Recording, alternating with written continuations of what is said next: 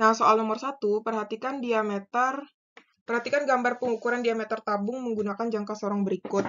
Nah, di sini uh, berarti kita cari SU-nya dulu kan. SU-nya itu adalah dia di sini. Berarti ini kan di depan ini kan satu kan. Berarti ini di belakangnya satu, dua, berarti ini SU-nya 1,8 karena di belakangnya kan ada dua titik tuh. Berarti di depannya tuh 1,8 kan. Berarti SN-nya skala noniusnya lihat yang berimpit. Nah, di mana ini berimpitnya? Hmm. Kelihatan nggak? Di mana ya berimpitnya nih?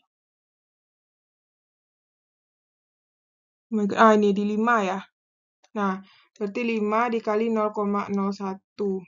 Jadinya 1,8, berarti ini uh, 0,05. Nah, jumlahin 1,85 cm.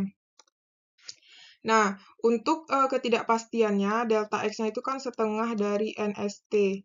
Berarti setengah NST-nya kan 0,01 cm kan, berarti jadinya 0,005 uh, cm. Berarti penulisannya X plus minus delta X kan.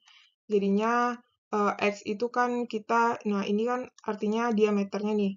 Berarti 1,85 plus minus 0,005. Satunya adalah cm. Jadi kayak gini penulisannya ya.